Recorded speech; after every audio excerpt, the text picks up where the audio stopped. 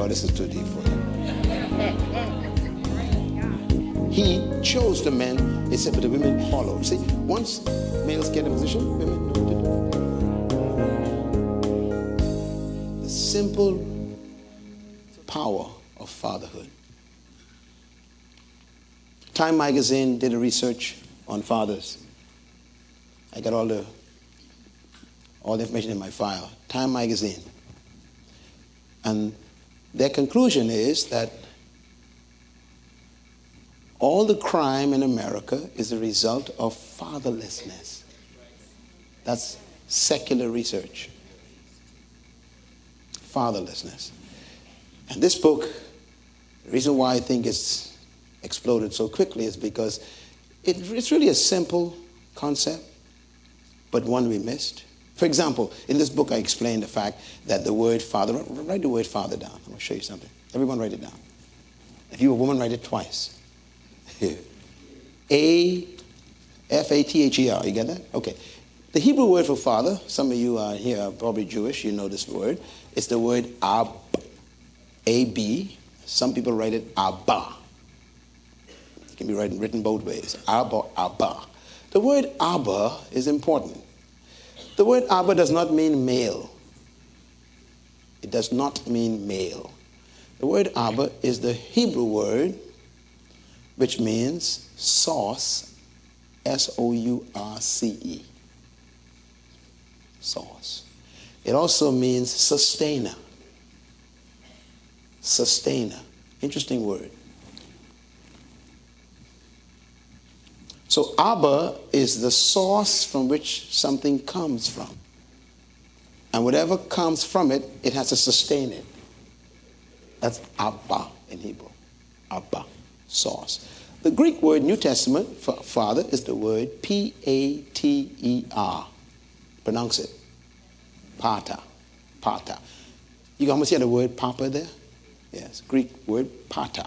The word pater means the same thing. It means source, sustainer. It also means nourisher. Wow. Women nurture, men nourish two different things altogether. Now, let me tell you why this book is important. I'm don't miss Saturday morning, okay? Everyone come. If you're a grandmother, come and bring all your grandsons. Because they won't become criminals and have a broken marriage in the future if they understand what I'm going to teach Sunday. You want your marriage to last forever? Come out Saturday morning. I'm going to pour it out to you, then I'm going to get on my flight. I'm, I got to leave because I got to be in North Carolina to speak on Saturday night. Now, Look at that word again. Abba. What does it mean? And in other words, Abba means something that produces something and sustains it. God never calls himself mother.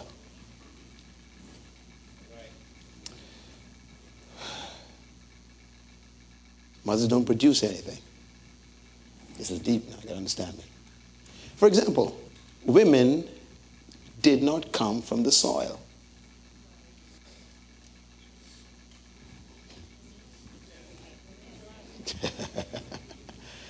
I'm already got you now, huh?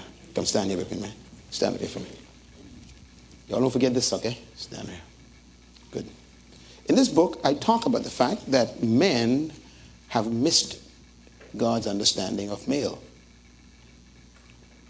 Women did not come from the soil. When God wanted to make a, a male, he went to the soil and he formed his body from the dust of the ground. When God wanted to make a female, he didn't do that. He closed the man's eyes and he went inside the man, in the front of the man, and pulled out a piece and he built a woman. Matter of fact, two different words are used in Hebrew. The first word is form, which means that to carve. The other word is built for the woman, which means that he actually multiplied this, this, the, the cells. He fashioned it. So women, that's why women are more refined than men. God built women, you know, they built. They built. Men, they just formed. That's why men are not attractive. You know, men are just just a chunk of stuff. Just But women are, hey. Whew. Fine. That's why I can't understand how a man can be attracted to another man. Look how dumb you look. Just nothing.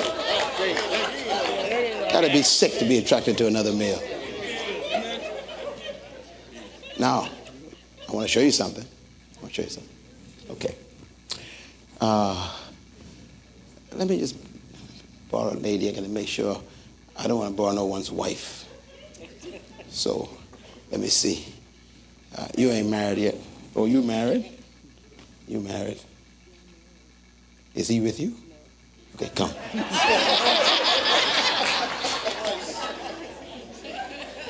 now, I wanted you to listen, watch this. This is exactly what God did. Stand in the front of him. That is what God did. A woman came out of the front of a man. So the man is actually, matter of fact, the word Abba also means foundation. The foundation of a building is never on the top. Where is it? The it. Why? It carries everything. Abba. He sustains everything. So a man is not the head of the home. He's the foot of the home. And there you got to change your thinking. See, I got you now. That book is, this, book, this book is key. See, the male thinks he's the head of the house. He thinks he's the roof.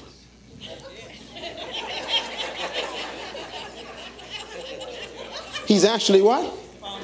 Matter of fact, the Latin word for Abba is fundus. F U N D U S, fundus, means foundation. That's why we call the founders of America founding fathers. They are at the foundation of the nation. So men are supposed to carry the whole family the wife, the kids, the bills, all the bills, all. Which means your wife working should be a privilege for you. Mm-hmm. that never goes over good, but that's the truth. Now, watch this. Here's why God said it this way He is Abba. She came out of Him. Now, whatever comes out of you, you have to do what? What's the second word? Sustain. I guarantee you, men in this room, I guarantee this. I have been to 89 countries so far, and I've never been wrong yet. I've never met a woman who wanted to go to work. In other words, no woman want to have to go. Now, they don't mind going to work. Don't get me wrong. But they don't want to have to go.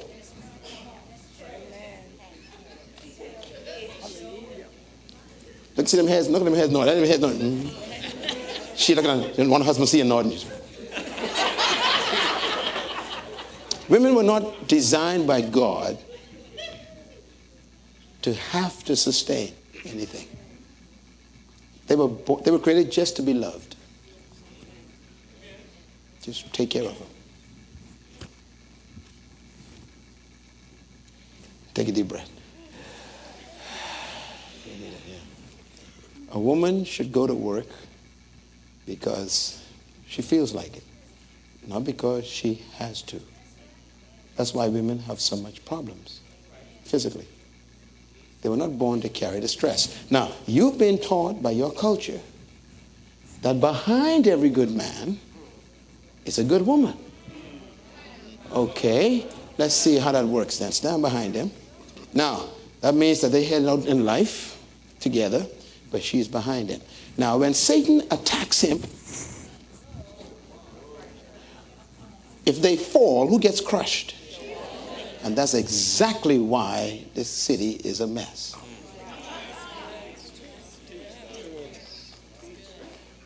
Women are carrying loads they're not built to carry. That's why you're divorced. That's why women want prenuptial agreements. It's ungodly. Prenuptial agreement is totally against the kingdom totally ungodly. It is satanic. But It's a result of the male not understanding Abba. So when Satan attacks her, she lands on him. Come on, hold her up. And this is the picture of a family. He's supposed to be the foundation holding up his wife, his kids, the grandkids, the great grandkids. He is the foundation. And that's why the average woman in this room, which is the one looking at me now, is frustrated because she cannot find a man who will hold her. Come on, ladies, don't get a clap. Go ahead clap. Yeah. Women, therefore, are not looking, write this down. Women, come on, ladies, write this down twice. Women are not looking for lovers, they are looking for foundations. Am I right? Yeah, that's what they're looking for. They're looking for fathers, not lovers. Men think women are looking for a lover. Women are looking for a father. Okay, let me show you this. Let me show you how this works. Have you noticed when God created the male and female, as soon as he made her, Adam started prophesying. Adam started prophesying. Adam says, This is bone of my bone, flesh of my flesh. For this cause should a man who leaves? A man leaves. Who leaves? A man leaves his mother and father. In other words, only the man leaves his father. A woman never leaves her father. I'm going to pause for a minute for you to get that. Some of you are slow. Men leave their fathers. Women never supposed to leave their fathers. because their husband is supposed to become.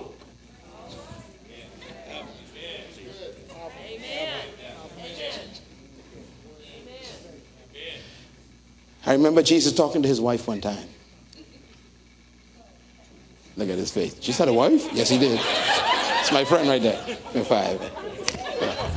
Jesus said to his wife, he said, Look, sweetheart, I've finished the work. I've solved all the problems. He said, Now I'm going to my God and to your God. Then he says, To my Father and your Father. In other words, no matter who covers you, you're covered. He's talking to a girl named Ecclesia.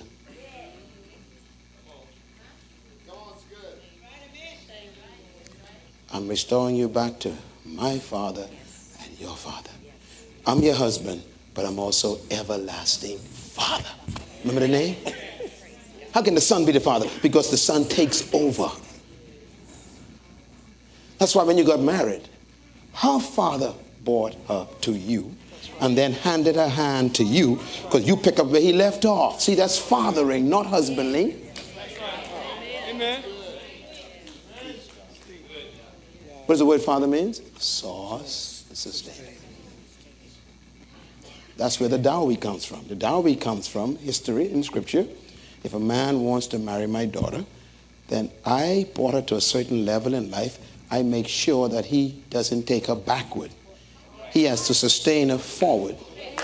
So he has to go and get the same amount of money I have and then take her even higher. So you don't, ladies, you don't marry a, de- a deficit. That's why you got divorced today. You married a deficit, not an asset. you married a sex machine, not a father.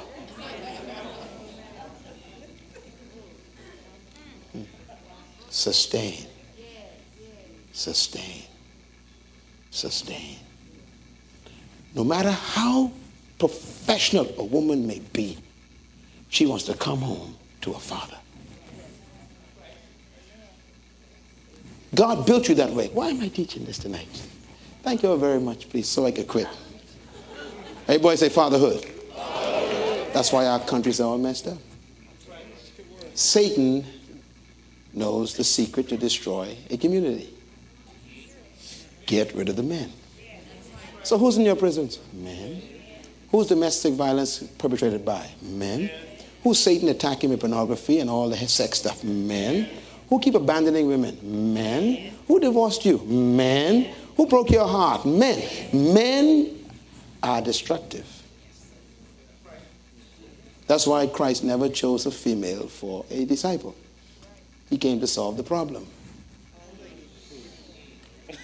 Oh, this is too deep for you. He chose the men. He said, Oh, this is too deep for you. He chose the men. He said, but the women followed. See, once males get in position, women know what to do.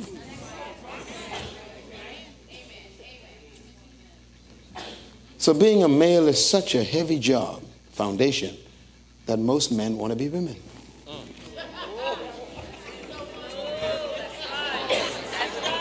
You all figured that one out right away, yeah? Because they don't want to carry the load.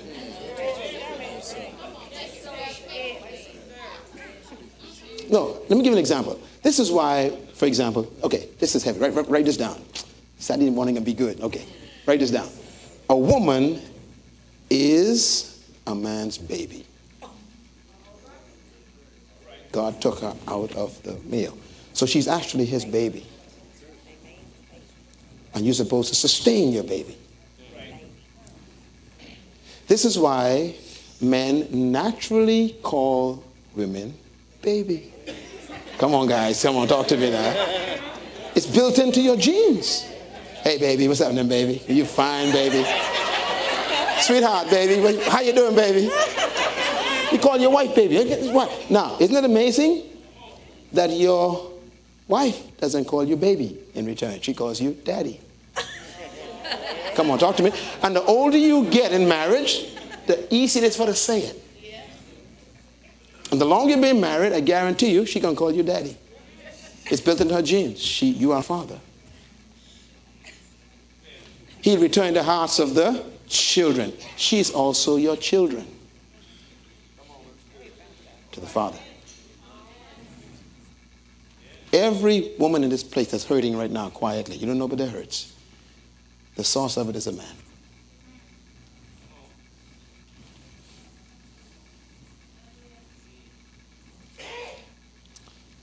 That's why he came to heal the fathers.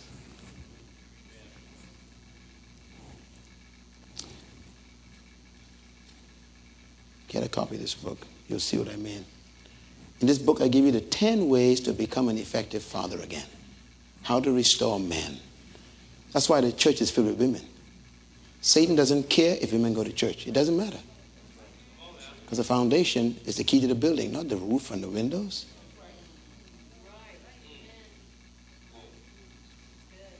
If you destroy this roof, the city council will not condemn this building. If you destroy the walls, break them down, they will not condemn this building. If you moved all the windows, break them out, they still won't, they won't condemn this building. It's still good to the city. But if they ever find a crack in the foundation, they condemn it. You can never build on this again. They say, get rid of it.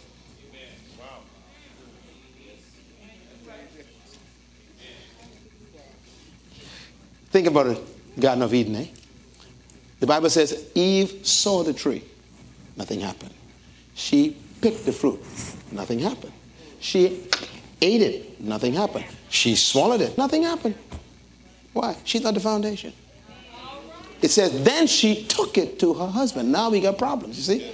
The foundation is now about to crumble. And the Bible says, when the man ate it, the next word is suddenly.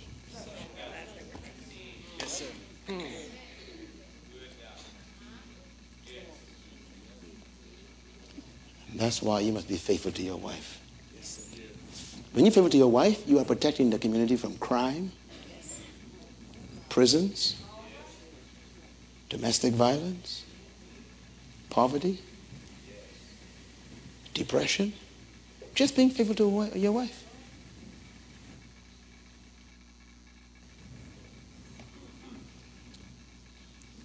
It's hard to find a good man these days.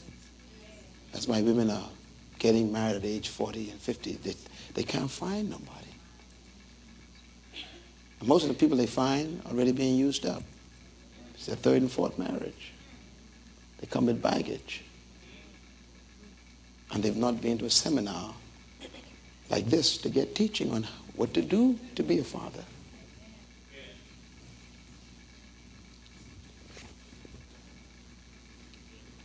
The church is a mess. Even the pastor don't know how to father his own wife.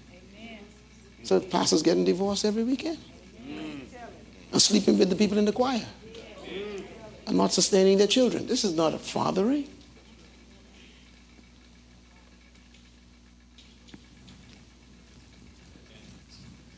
He will restore the hearts of the fathers. You think that's a good book? You Think it's necessary? It's necessary. That's why I'm proud of you men who are 60, 70 years old and still married to the same woman and taking care of your grandkids. I'm proud of you. You, you guys are the blessing to the country. Thank you so much for staying with your wife. And if your marriage didn't work out, get knowledge first before you try again. Don't get a person, get knowledge. Get this kind of knowledge first. And if you have a man in your life, get this book, and buy it for him. Tell him read it.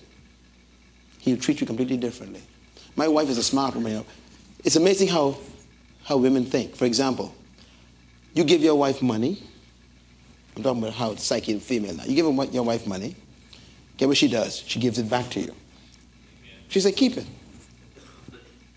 And then when she wants, she comes back to you. Can I have some money? Now, the reason why she does that is because she wants to feel like you are saucing her is psychological.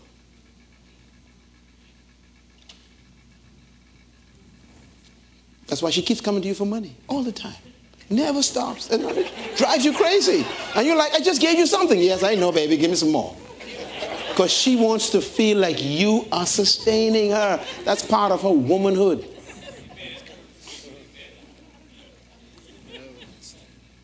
So I keep money in my pocket just for my wife. All the time. And here she comes again. Hey, baby, here you go. And she loves it. She loves it. It makes her feel like a woman. Women want to be pampered. They were born to be sustained. That's why they say their money is theirs and yours is theirs. It's just, they're crazy. help me, women. Help me out, women. Give me a hand. Give me a hand, ladies. What is mine is mine, and what is yours is mine. That's how it goes, right? Yeah, they want to be sustained. I tell you right now that every woman in this place would prefer to be home if she wanted to be home. All of them. I don't care how cute they act with their briefcase and their three-piece suit. They, in their heart, they want to be at home, enjoying themselves, and work if they feel like going to work because they were created to be sustained. Sustained. I remember the day when I wrote my, my wife's resignation letter. She used to work for an oil company. She made more money than I did when we came out of college. She worked for the oil company. I worked for the government. You know that. That's... And uh, I told her, I says, my job is to work you out of a job. So I'm going to work so you can leave a job. And I wrote her resignation letter two years later. I, I typed it. I thanked her boss for having her work with him. I tell him now she's coming to work with me. I'll sustain her. We never look back. We're debt free. Kids are debt free. God's been faithful. Let me tell you something. If a man decides to sustain a woman and he's serious about it, God will bless him financially. Try it, man. It's amazing. But if a man is selfish, God will keep him broke. That's why you're broke. Not you, the one behind you, not you, the one behind you. That's why you're struggling. Because you don't understand how to sustain your wife. Emotional sustenance, psychological sustenance, material sustenance, spiritual sustenance. You're supposed to sustain her in all of those areas. Fatherhood. Everybody say father. That's why God is called the father of creation.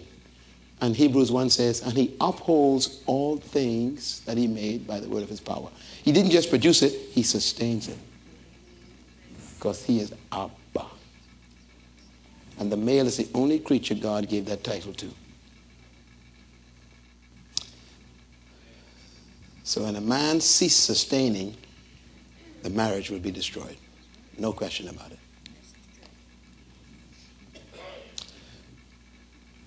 So invest in your in your life, brothers. And I love all you men because I know. I just finished a men's conference in the Bahamas. You couldn't get in the room. And we released this book in Nassau this week. You couldn't get in the room. I mean, it was packed.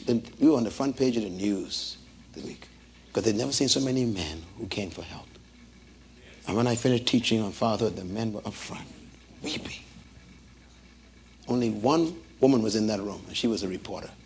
I made sure another one was in the room because he had to deal with father problems. Men came out of rough backgrounds without fathers. 72% of all the men in prison grew up in homes without fathers. And they're angry because there wasn't a father around. That's why they women. They're angry. They're angry. So may God have mercy on the men. You know, men are good, but they, they're just ignorant, that's all. They don't know. They weren't taught what I'm teaching you today. And those 10 things in the book, if you learn them, you'll, you'll understand what to be a man is like, what it means to be a man. Only 10 things. And I found them all right there in Genesis chapter 2. 10 things that a male needs to become a man. It's in the Bible. It's very important. All right, let's get started.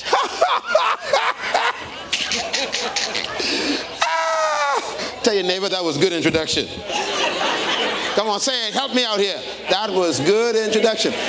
I won't keep you long, I promise, but it's sure going to be good, okay? All right, get your Bibles and turn to Genesis chapter 1. This is my theme for 2008, right there. Every year, God gives me a specific direction, and here it is Kingdom Culture Influence. Holy Spirit said to me, for the next 10 years, this shall be the message for the world.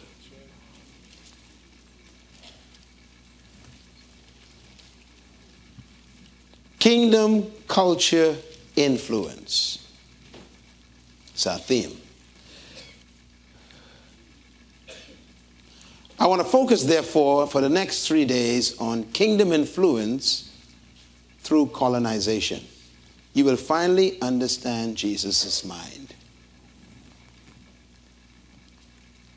Jesus Christ is the most misunderstood human on earth. He is misunderstood by the Muslims who call him a good teacher and a prophet. He's misunderstood by the Hindus who call him just another God among the six million they worship. He's misunderstood by the scientists who call him a figure who didn't exist in history.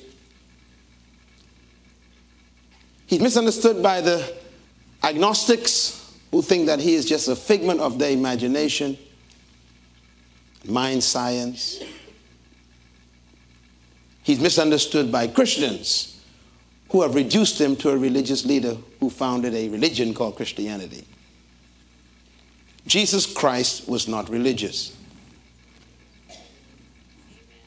Jesus Christ came to earth, but not to bring a religion. Now, I normally want to begin my sessions with this little statement The wealthiest spot on planet Earth is not the gold mines of South America. It is not the silver mines of Central America.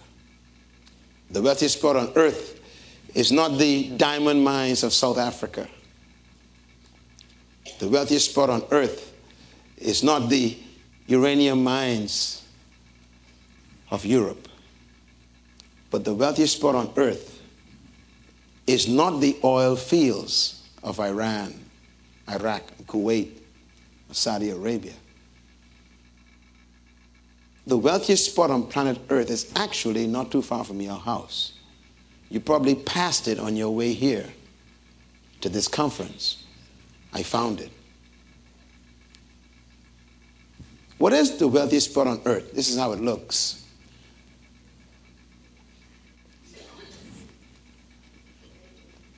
The wealthiest spot on earth is the cemetery. It's the graveyard. And why is the graveyard the wealthiest spot on earth? Because the cemetery is the place where you can find books. The cemetery is a place where you can find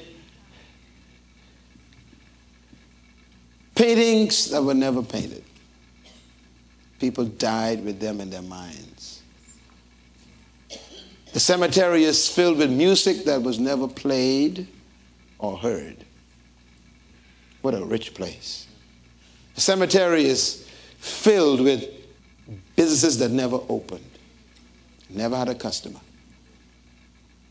The cemetery is filled with ideas that was never manifested, solutions that never found their problems. The graveyard is a wealthy place. It is filled with visions that died as nightmares and dreams. People took their visions to the cemetery. The graveyard is filled with plans that were never executed. Some of you got some in a file somewhere, and the cemetery is getting closer. What a tragedy. The graveyard is filled with purposes that were never fulfilled. This is why I travel around the world. This is why I came here. I came to this conference, left my family and my staff because of this very knowledge.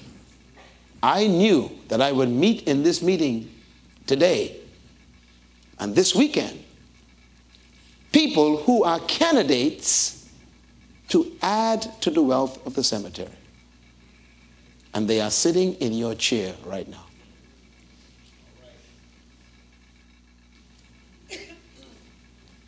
All of you are like a treasure chest.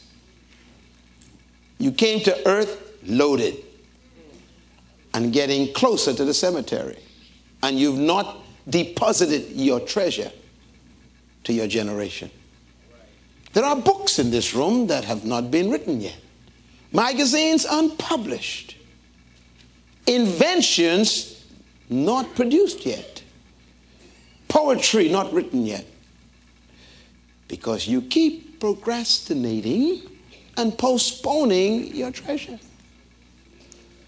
Oh, what a wealthy place the cemetery is. If I could mine the graveyard, I would be a rich man. That is why I came here. I came here for one reason. I wanted to walk among the tombstones here tonight and shout at you one statement Die empty.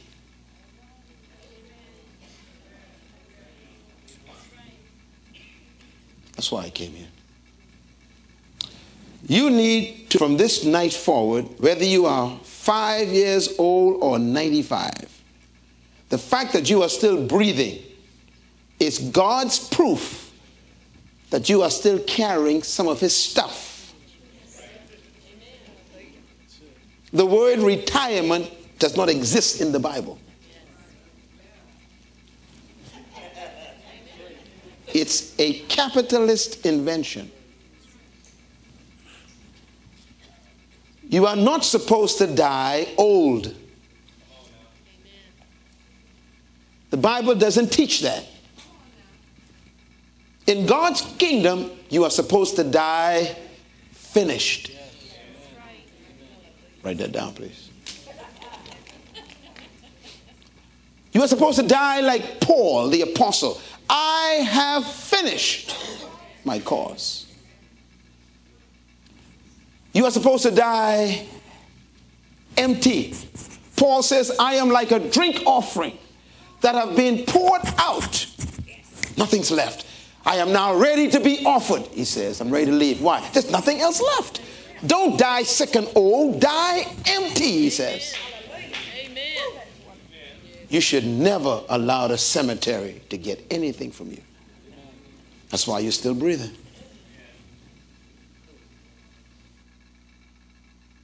your age is incriminating. You think you are living long because God loves you. No, you're living long because God's waiting.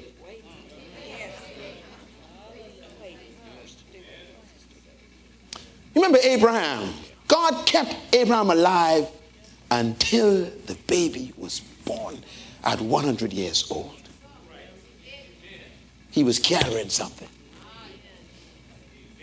Die like Jesus. He was 33 years and six months old, and he used these words It, not I, it, not I now, because you never finished. He says, It, the assignment is finished. What's yours?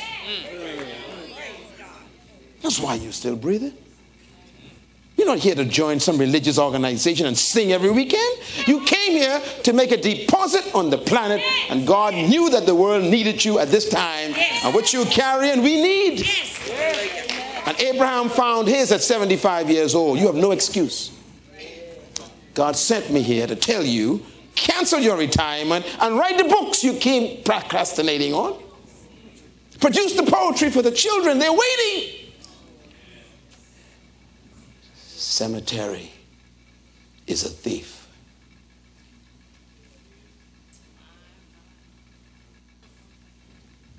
That's why I work so hard. Every day, my life is filled with passion because I have an agreement with the graveyard. You better sign yours tonight.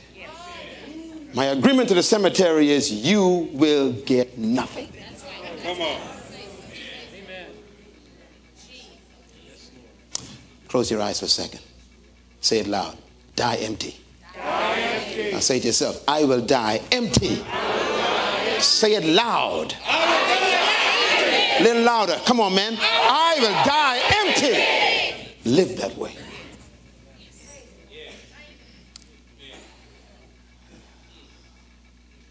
I imagine Sarah, 75 years old, and God says, Hey, girl, we're just getting started. Yeah, You will have this baby that will create a nation. Whatever you are carrying is supposed to affect a generation. You were never born to buy a house, a boat, and play golf. You have not contributed anything to the next generation. That's why God sent me here. He flew me in to tell you the cemetery is getting close and you are still loaded. The Bible says, therefore, maximize the years. Help me to number my days correctly. The graveyard. That's why the king wants you to understand the kingdom so badly. Because he gave you gifts to give to the earth. You are not supposed to bring back to God what he gave you.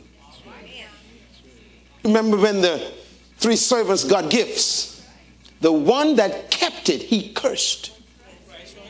He says, he says, I brought it back to you. It's yours. He says, You wicked and lazy servant. You're supposed to deliver it to your generation. So why am I waiting on your books, man?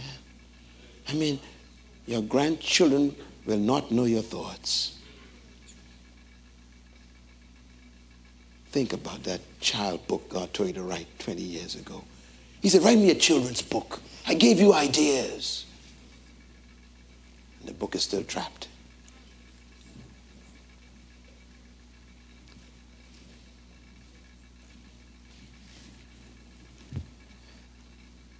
So every time I pass a graveyard, I weep.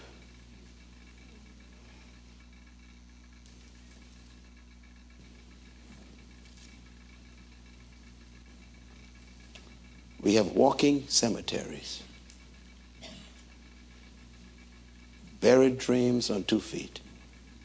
Going to a dumb job every day. Calling it a career.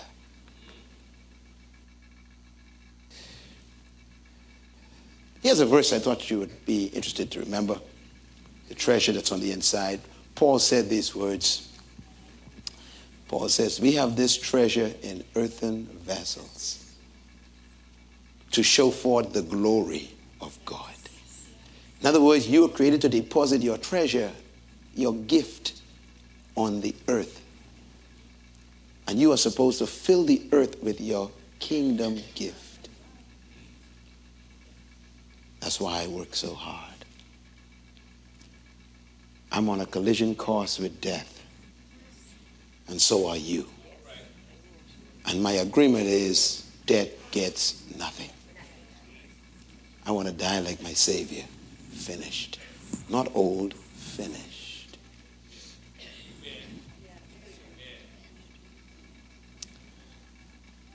And that's why we're here these next three days to help you I want you to, to really die empty. You, you got a lot inside. Yes. The experience, the wisdom, the knowledge, all that powerful history and ideas. If you died today, we would lose it.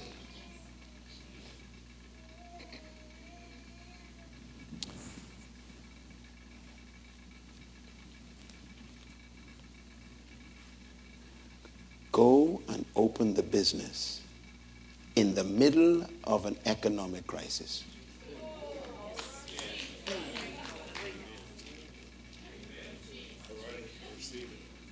Go and publish the magazine in the middle of the downturn in the economy. Start. Because whatever God calls for, He provides for.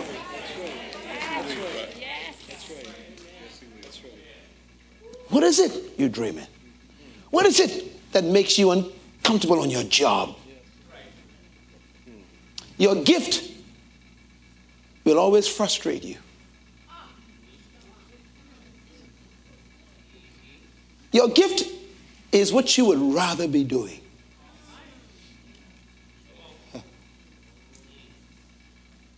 Your gift is your purpose. Purpose is your reason for being born. This is why your job depresses you because your job is what you get paid to do, but your purpose is what you were born to do, and they're different. Yes. This is why you could go to a job for 60 years and retire and be depressed because you never did what you were born to do. You did what you were paid to do. So you still owe us. And that's why you're alive, Mama. God says, go back and write the poetry. Leave the kids something to remember.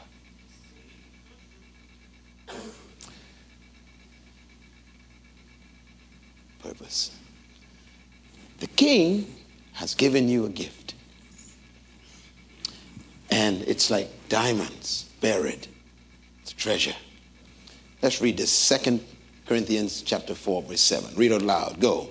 But we have this treasure in jars of clay to show that this all surpassing power potential is from God and not from us. That means you are carrying something that doesn't belong to you.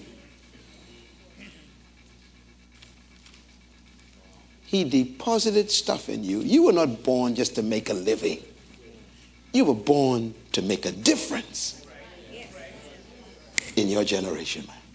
That's why God sent me. He sent me here to stop you because you are so busy planning to do nothing. You thought your career was successful. God says, hey, you ain't done what I gave you birth to do yet.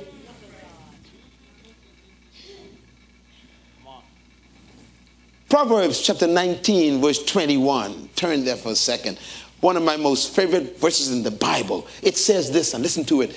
Proverbs 19 21. It says, Many are the plans in a man's heart, but it is the Lord's purpose that will prevail in that man's life. What a verse. God says, You make your plans of what you want to do, what you want to be, your career, your vocation, all these plans you make where you want to live, your business. He says, You have not consulted me yet for your purpose. it's possible to be a successful failure.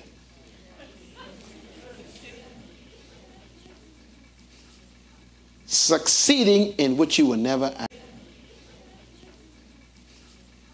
succeeding in which you were never asked to do.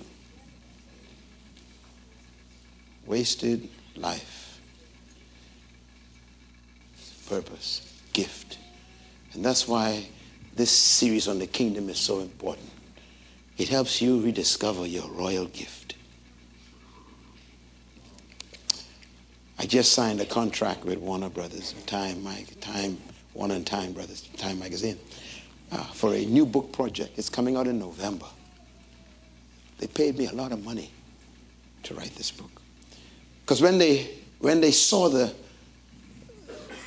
the content of the manuscript, they said, We want to publish this.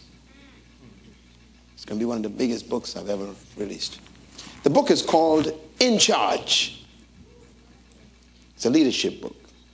The book is on the philosophy of Jesus and his concept of leadership. What a mind he had. One day, his disciples were arguing about greatness. And by the way, every person in this room wants to be great. And don't you lie to me. Some of you are frustrated because you haven't made it yet and you've been around for 70 years but you want to be great. No human does not want to be great. And in this book, I talk about the fact that the, the desire for greatness is normal and divine.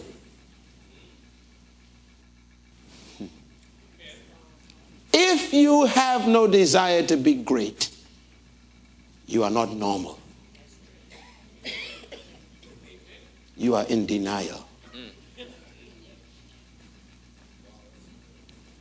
As a matter of fact, Jesus did not discourage the desire for greatness, he encouraged it. Let me prove it.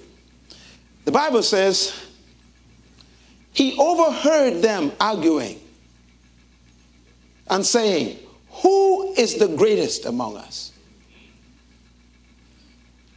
And he called them aside and said unto them, If anyone desires to be great. I'm quoting him now. He did not discourage them, he did not attack the desire, he actually showed them how to achieve it. If anyone, how many? Anyone. Why? He knows that everyone wants it. If anyone wants to be great, he says, they must become the slave to everyone and the servant to everyone. What does he mean? Oh, this is good stuff. When I did the research on the word servant, slave, it blew my mind. It had nothing to do with subservience. The word he used means to deploy yourself to the world.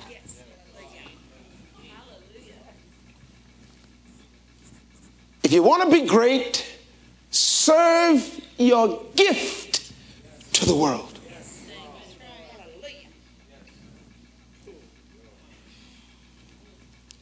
To do that, then, you must first discover your gift. And that's your problem.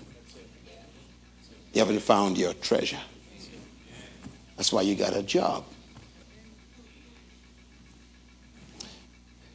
All the great people in the world, genuinely great people, if you study them, and in this book I do a lot of research on these people, starting with Abraham himself. When you discover your gift,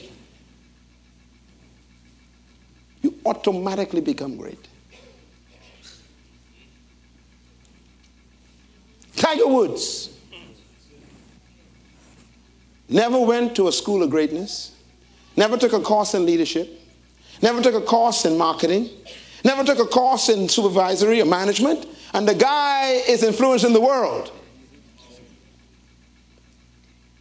he found a gift and he serves it to the world.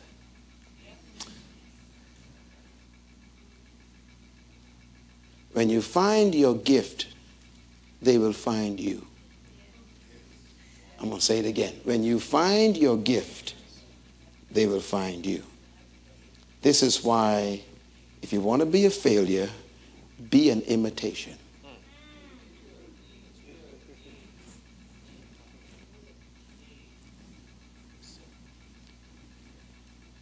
You were not born to imitate other people.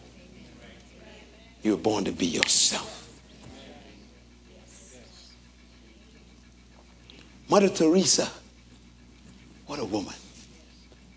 Never went to a college. She was a high school teacher in India. Left her job because she found her gift. Helping the poor. She refined it. And guess what? She spoke to the United Nations. Greatness. The future of a seed is not ahead of the seed, it's trapped in the seed. Your future is not ahead of you.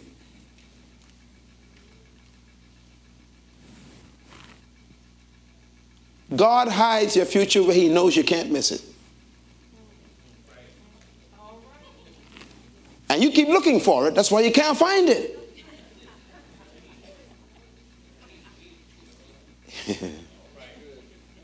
it reminds me of a story of a man who lived in Texas, a true story. This, this guy owned a farm in Texas, and, and uh, the whole area was just farms, just like this area some years ago. And, and one day he heard the news from the West Coast that they had struck oil. And they found gold out there. And he decided, I want to strike it rich. I want to be wealthy. I want to be great. And so he put his farm up for sale. And the farm was probably worth seventy, eighty thousand dollars. He sold it for thirty-eight thousand dollars, cheap because he wanted the money quickly to go and buy some donkeys and some pickaxes, and he wanted to go to prospect on the west coast for gold and oil, and he wanted to strike it rich. And he bought the donkeys and went west. Three months later, the man who he bought the farm, sold the farm to, who was his neighbor, was out dealing with the cows, and he began to dig for more water. On the same farm, the guy sold it for $38,000, and this black stuff started coming up out of the soil, and he began to realize that this is the largest deposit in Texas of oil. It's a true story. And that man, in an instant, became one of the wealthiest men in America from a $38,000 farm. When the man on the West Coast got the news that the farm he left and sold, that he was sitting on all his life, was grounded in oil. He fell off his donkey, they said, and had a heart attack. He died. What's the moral of the story? What you're looking for is right where you are. So I've come here to dig for oil right in you. You're listening to me. Your future is trapped. You are treasure carriers. Your gift is waiting to be deployed. And the problem is you've been employed. You work all your life for that company, man, and never became yourself.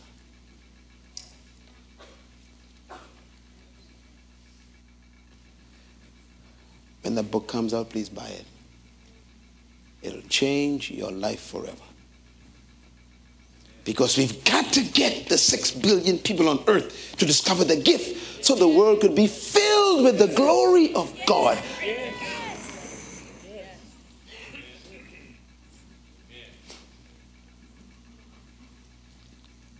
If people find their gift, there'll be no more crime. Wow. You know, in the book, I talk about, I had this revelation from the Holy Spirit. He says, he says, you know, greatness is like a seed becoming a tree. You know, if, uh, watch this. If you take a apple seed and you plant it, becomes an apple tree right from the inside of the seed, and it becomes fruitful, apple fruit. Now, here's something about trees with fruit. Fruit is the gift. Trees will never bring their fruit to you. Interesting, isn't it? If you want their fruit, what you got to do? Go to them. You see, when you find your gift, they will come to you for it.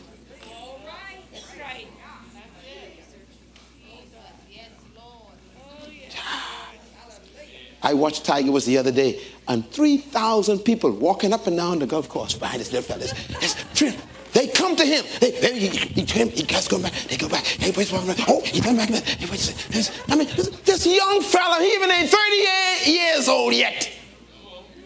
He got them old folks running behind him, watching him. Why? They're following the fruit. How come no one's looking for you? Because we can't find your fruit.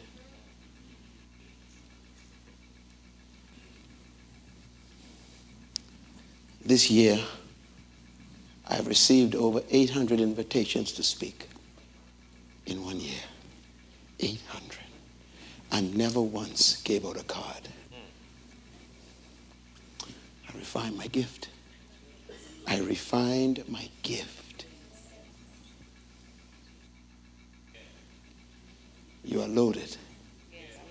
Don't let the cemetery get it.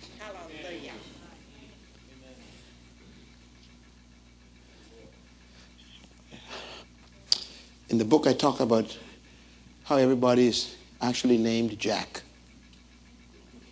That's why they ain't great. It's either Jack or Jacqueline or Jackie. You know, Jack of all trades, but they master nothing. And that's your problem. One thing with, a, with an apple tree, it never grows mangoes. It never grows bananas. It never grows oranges. It only grows apples. How come we confused with you? You keep changing your career. What are you known for? That's your greatness.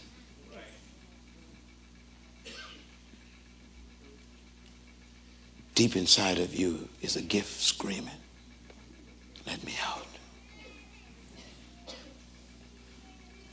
Your energy is trapped in your gift. If you feel tired, it's because you haven't found your gift. You have no energy, you feel sluggish and lazy, you haven't found your gift. If you found your gift, you wake up early in the morning and go to bed late.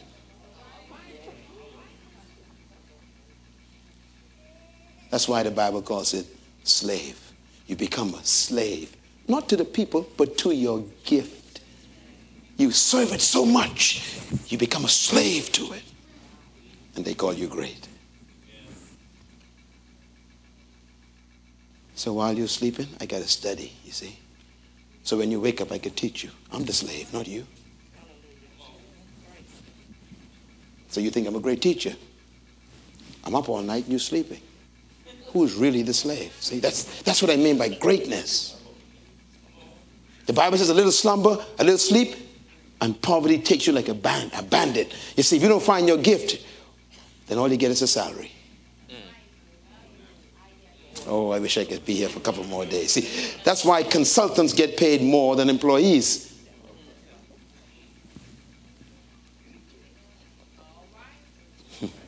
Consultants have a gift. What you got is a trade. And there's a difference. He, Jesus said, even as the Son of Man did not come to be served, but to serve himself a ransom. He is a ransom. He's I serve ransom. That's what makes me great. Wow. What do you serve us? What were you born to give us before you die? What were you born to give us before you die? See, no one ever asks you the right questions. You weren't born just to be a wife. You were born to deliver to me and my children something.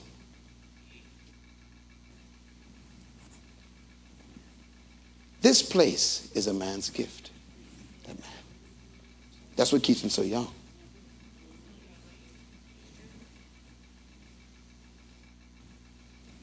You are never supposed to die sick and tired. You're supposed to just leave because you're finished. Clap.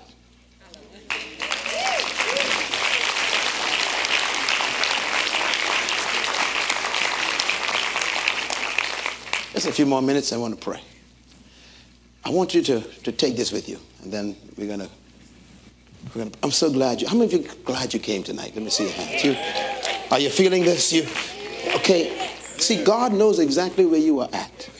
That's why He brought you here. You are at a point in your life where you need to change. Something is uneasy in your life. That's why God brought you here. You're at the point where you know what you're doing ain't, ain't what you really want to do. He set you up tonight to make sure you live effectively before you die. That's why God brought you here.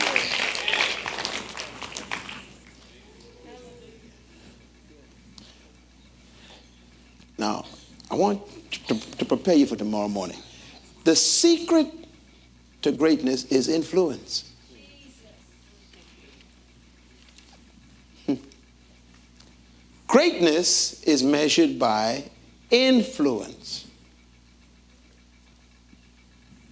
Influence is a product of significance. Significance is a product of value. Please buy this CD. Listen to it 10 times in the car. I'm telling you. At the end of the meeting, go back and buy the CD. Because I'm saying some things you ain't gotten it right away. You got to hear it seven times. I'm going to say it again. Influence is a product of significance. Significance is a product of value. Value is a product of refinement. Refinement is a product of uniqueness. Uniqueness is a product of gift. God gave you a gift. Every human came to earth with a gift. You ever wonder why God never told Adam, read my lips, read my lips, read my lips, look at my lips? He never told Adam, be seedful.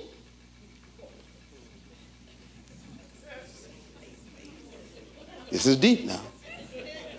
His first command, first command to the human, first command be fruitful. It's impossible to be fruitful unless you have seed. Fruit is a product of seed. The word fruitful in the Hebrew language does not mean to have children. the word means, write this down, to be productive. Productive. Produce something, God told Adam. Produce. You cannot produce without seed. So God never told him to be seedful because he knew he had already put seed in every human. What God wants is fruit, a product. What's your product? The market needs your product. Yes. And I guarantee 90% of people in this room have never found their product. All they got is a career.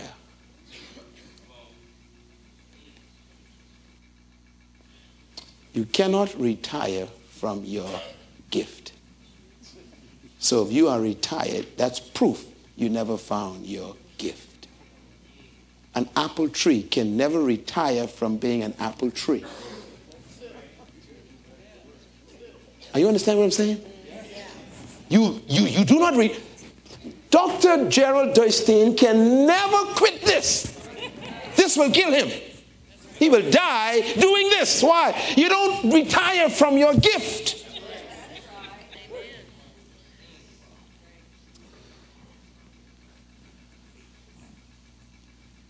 God says, Adam, produce something. God's commands indicate what you possess. I'm going to say it again. Write it down. God's commands indicate what you already possess. In other words, God will never demand what he didn't already supply.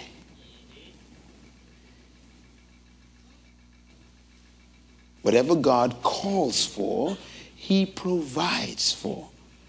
If God calls for fruit, he's already provided seed. So every human came to earth with a seed of greatness. And the cemetery keeps getting it.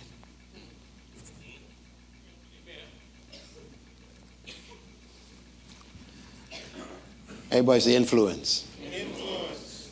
We're going to talk about this tomorrow all day. Kingdom, culture, influence. You and I were born to influence the generation before we die. And let me tell you something. Some of you think that you got to be the prime minister or the president or the governor. Let me tell you something.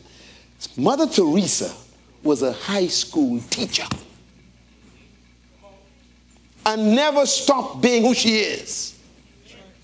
She found her gift and left her career. I'm going to say it again. She found her gift and left her career. Her career was teaching, her gift was helping the poor. When she found a gift, she couldn't stay in the classroom. Write this down. Your gift is what makes you angry.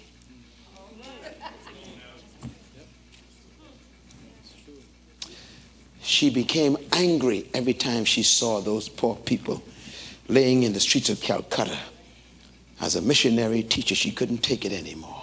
She would step over those lepers on her way to the classroom and she'd be weeping as she walked over those poor people just to get to the classroom, laying on the streets. She said in a book, she says, she said she couldn't take it anymore. She became angry at poverty and sickness.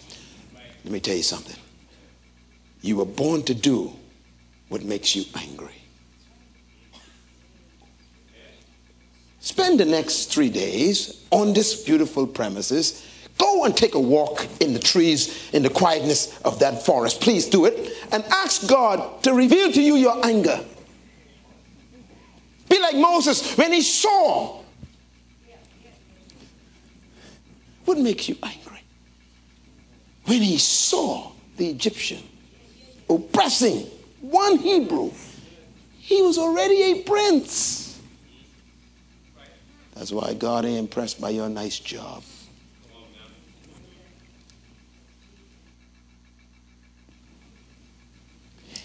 He sacrificed his career as a prince to go after his anger. He was born to set them free. What makes you angry?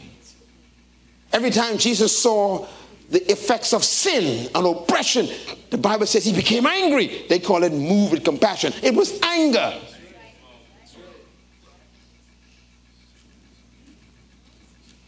He was born to set them free. You know what makes me angry? When I see potential unreleased. That's why I feel angry tonight. It's my anger that makes me teach you so good. I'm a good teacher, right? Yes, sir. It's anger. because I don't want to see the cemetery take another gift that we're supposed to get. And it's sitting in your body. Influence. And so this is uh, my passion for the year. Kingdom culture influence. You are supposed to influence the culture before you die. And you do that by discovering your kingdom gift. And we're going to study the kingdom the next two days. I don't know who you are, don't know where you came from, I don't know how old you are. But I'm telling you, God sent me just for you. just for you. You're going to start again. They ain't seen nothing yet. Come on, give them a praise. They, they thought they knew you, huh?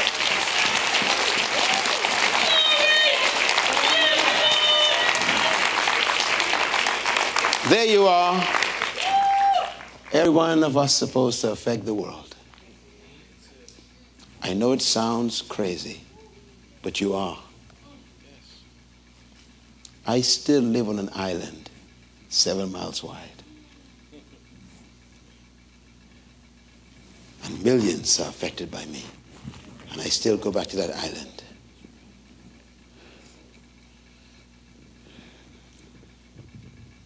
I wonder what you're carrying.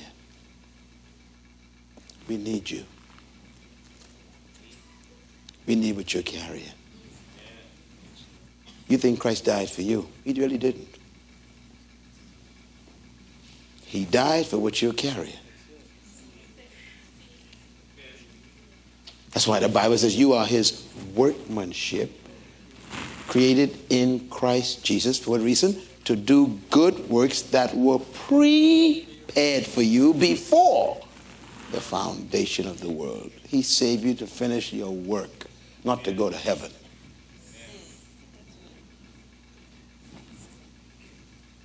Influence. That's your goal. Your goal is to transform society through kingdom influence.